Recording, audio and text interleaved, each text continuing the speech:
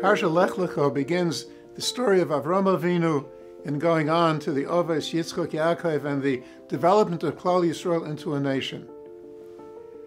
Avram is called Avram HaIvri. Ivri meaning from the other side. He was a person from the other side.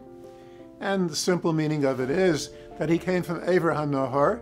He was born, he grew up on the other side of the Euphrates River, Nahar Pros, before he came to Eretz Yisrael. And there's another pshat too. Rashi brings it. Avram was on the other side of the rest of humanity.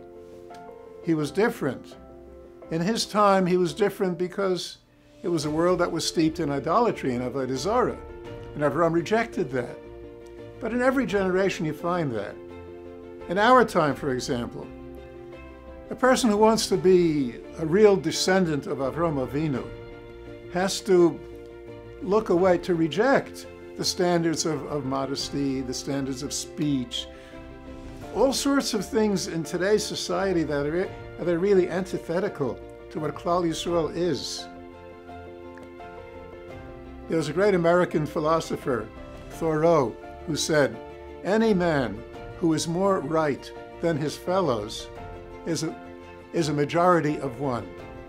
Avram Avinu and Sarah Imenu were on the other side. They were on the other side of civilization as it existed in their time. But they were a majority. They were the majority. They were the ones who prevailed.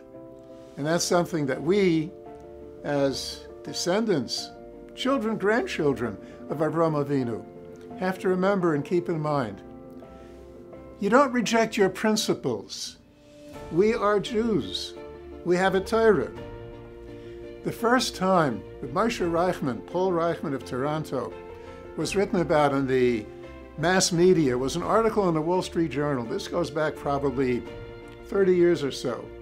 And one of the things that they said about him was that since he is a fervently Orthodox Jew, his religion requires him to maintain a higher standard of ethics that is generally accepted on Wall Street. Not everybody lives up to that standard. But that's our guidepost. That's where we belong, and that's what we have to strive for.